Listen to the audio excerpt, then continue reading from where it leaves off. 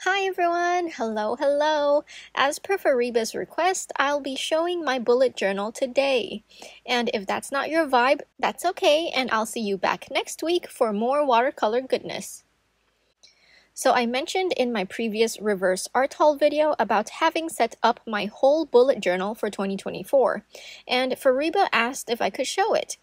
I'll basically be going through this like a flip through video and commenting about certain things as they come up. If I mention any products or videos, I will link them all below.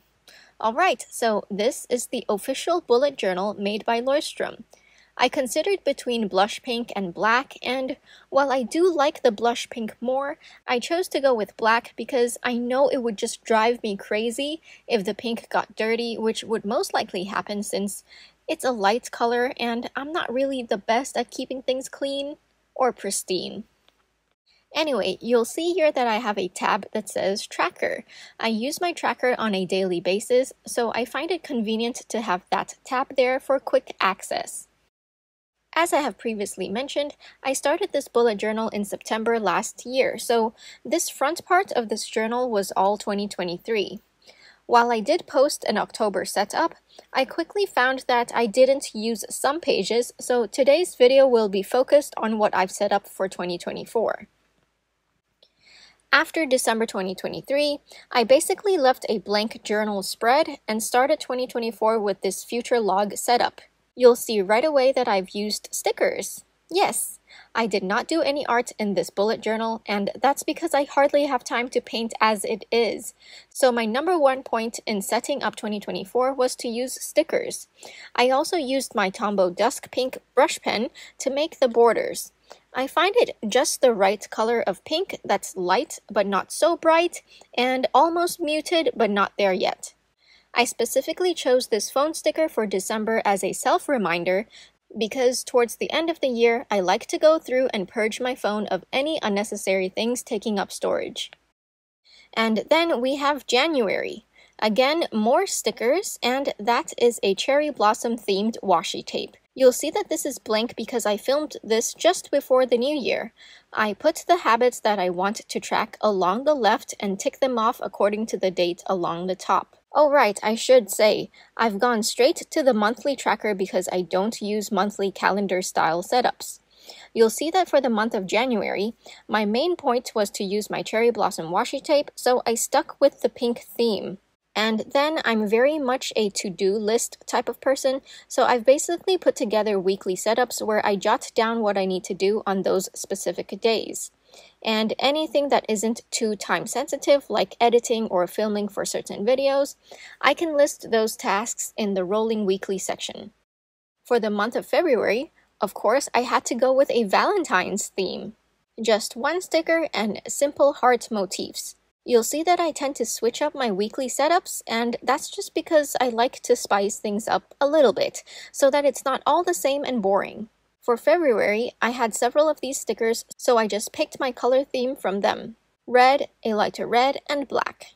For March, I decided to change from Sanrio to some Pokemon. Togepi is one of my favorite Pokemons. There's so much color going on already, so I chose to go with this neutral tan brown color theme. Oh, and here's Jigglypuff, another one of my favorite Pokemons. I've collected so many stickers over several years, so I'm finally glad to be able to use them. It definitely took me several nights to sort through which stickers I wanted to use for each month.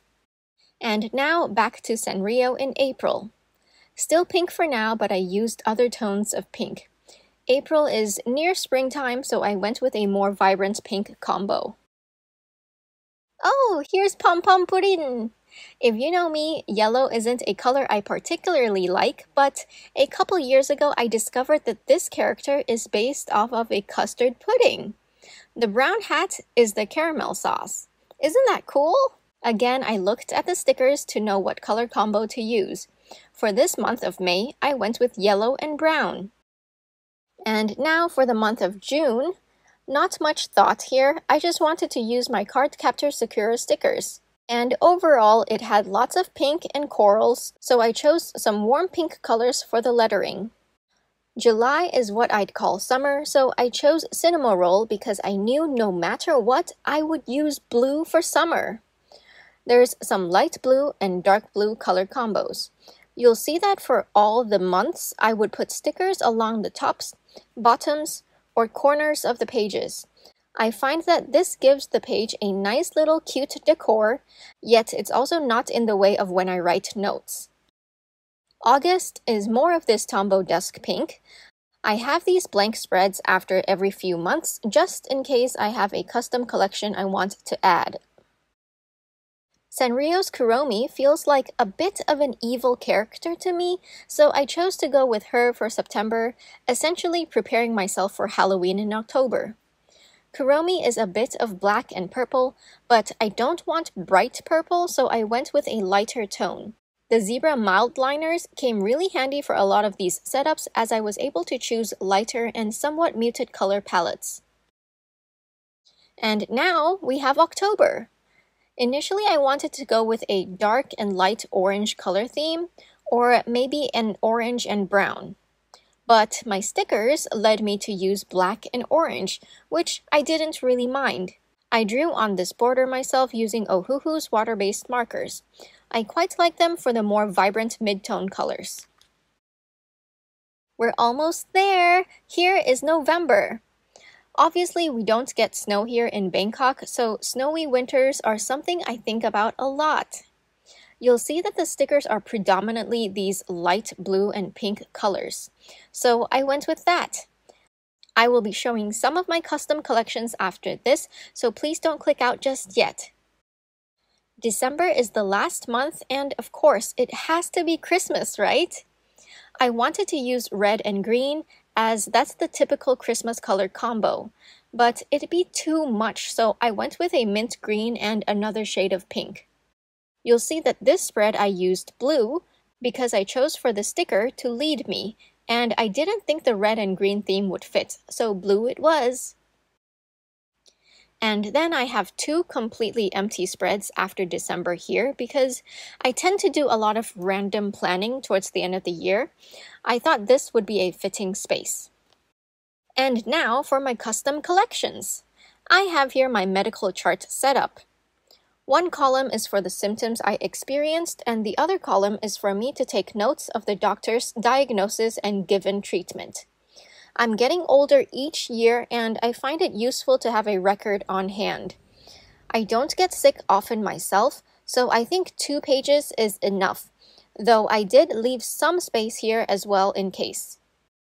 And on the far right there, it's health related too, so I have a narrow chart to track my weight and my period cycles. Then a whole spread all about food. The difference between these two pages is that the food page on the left is for foods that I want to eat, whether I buy it from outside or cook it myself. Maybe I saw something online or someone said something, or I remembered a dish I had in the past.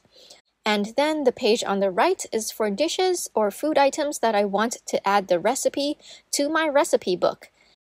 And this spread is, well, some of you may laugh, but I don't have Spotify or any of those music service subscriptions.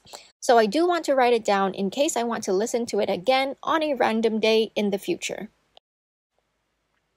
And here is my skincare page. It's kind of all over the place, but hopefully you can see that there are two columns.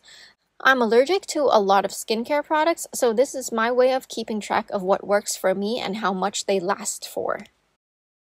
Last but not least, arguably my most favorite spread of this whole journal, the package tracker. This basically tracks what packages I expect to arrive. And that's it. That's the end of my 2024 bullet journal setup flip through. This channel isn't focused on bullet journaling, so I do apologize for not having filmed any parts of the setup. This is mainly for me to use and abuse to organize parts of my life. A lot of it is repetitive, but that's what works for me. To summarize what I did, or my tips for those who want to sort of recreate a similar setup 1. Stickers. If you can find theme stickers, it would be best for things to be cohesive. Or if you have a sticker stash like me, just choose ones that go together either by theme or by color. 2. Washi tapes. Honestly, this is just like stickers but in tape form. I think it's great for giving a page or a spread a little accent, or it could be a good page separator as well. 3. Color theme. Making sure you stick to a couple colors is a great way to not get too messy and keep things look well designed. And 4. Keep it simple. You'll see that I did not do any fancy lettering or calligraphy. I just went with a few simple lettering ideas that I knew I could do well and stuck with it. Alright, that's it then. I hope this has inspired someone somehow. As always, thank you so much for watching till the end, despite this not being my usual content. Don't forget to drink lots of water and stay hydrated.